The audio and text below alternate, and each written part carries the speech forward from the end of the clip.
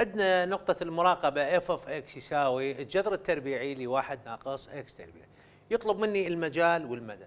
هذه حالة خاصة عندنا آه، بالدوال الجذرية آه، لاحظوا زين إنه داخل الجذر هي دالة تربيعية. اللي ناقشناها في المحاضرة السابقة كانت دالة خطية. يعني داخل الجذر كان دالة خطية. لا تنسون إنه إذا كانت دالة خطية داخل الجذر المجال مالها يختلف ال- المجال أو المدى يختلف عن الدالة التربيعية.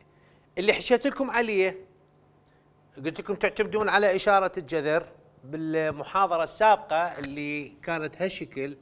الدالة هنا مثلا هنا خطية مثلا إكس زائد خمسة. هذه الدالة خطية. هذه مداها يختلف عن مدى هذه.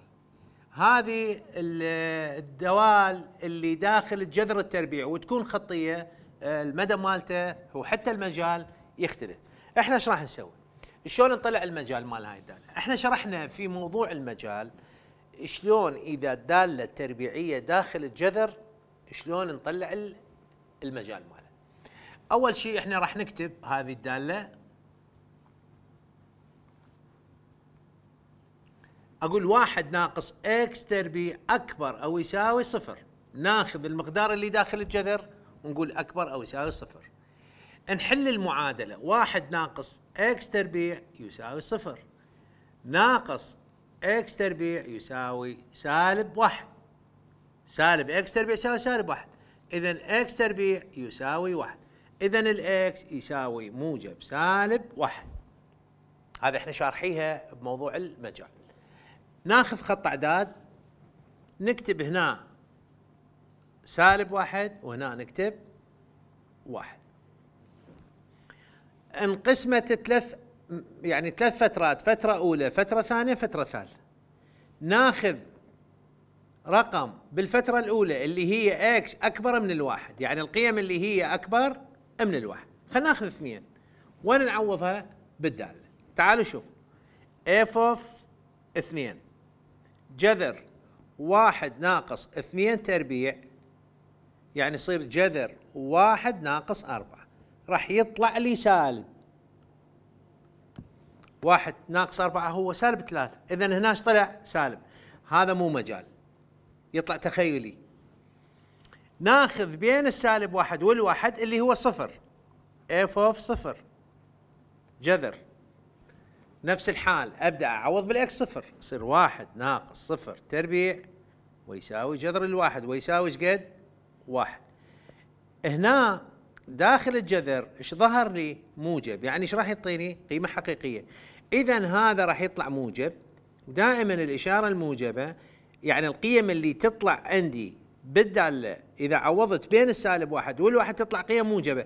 اذا هذا يعتبر من ضمن المجال.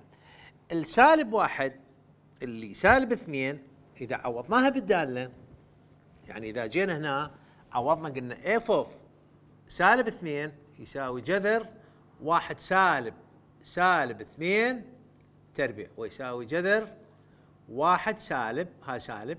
سالب اثنين إذا أربعها يعني تصير موجب أربعة يعني هنا يصير أربعة. يعني هذا سالب مال السؤال نفسه. شو يصير؟ جذر سالب. هذا التخيلي. يعني هاي الإشارة يطلع سالب هنا طلعت الإشارة سالب. اذا هذا مو مجال. إذا المجال اللي طلع عندي أني المجال بين بين السالب واحد والواحد. يجي الطالب يريد يحسب المدى. هسه أنا عندي المجال بين السالب واحد وبين الواحد. يريد يحسب المدى. شلون يحسب المدى؟ يا أما يسوي جدول يا أما يسوي جدول يا أما ياخذ التقاطع نقاط التقاطع. F of x. يساوي واحد ناقص x تربيع. أخذوا نقاط التقاطع ويا المحورين. مرة صفر الإكس مرة أصفر ال x ال y يساوي واحد. وهذه التقاطع العمودي. يعني أنا عندي هاي النقطة هسه صفر وواحد. هذه نقطة من نقاط الدالة. عندك إذا صفرت ال y إذا خلينا المعادلة كلها هاي المعادلة كلها يساوي صفر. يعني راح يصير عندي جذر واحد ناقص x تربيع يساوي صفر. ربع الطرفين واحد ناقص x تربيع يساوي صفر. اذا ال x يساوي زائد ناقص واحد. يعني واحد وصفر وسالب واحد وصفر. آني هاي المعادلة آه، اللي يريد يفهم هاي شلون انحلت خلي بقى على هذا الحل. اذا ال graph مالتي محصور بين الناقص واحد والواحد كمجال ومحصور بين الصفر والواحد كمدى. هذه عبارة عن نصف دائرة. دائما دائما إذا شفتوا هذا الشكل إذا شفتوا عدد سالب إكس تربيع عدد سالب إكس تربيع هذا عبارة عن نصف دائرة.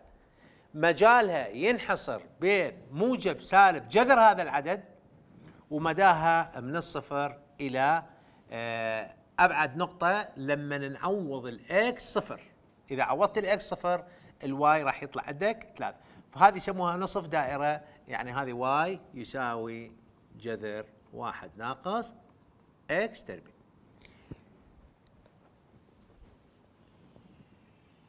شوفوا هاي الدالة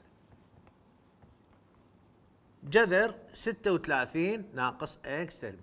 إحنا اتفقنا قلنا هذا الشكل هذه نصف دائرة نصف قطرها نصف قطرها وجذر 36 ويساوي 6 إذا إذا المدى راح ينحصر بين الصفر وبين الستة. هذا المدى.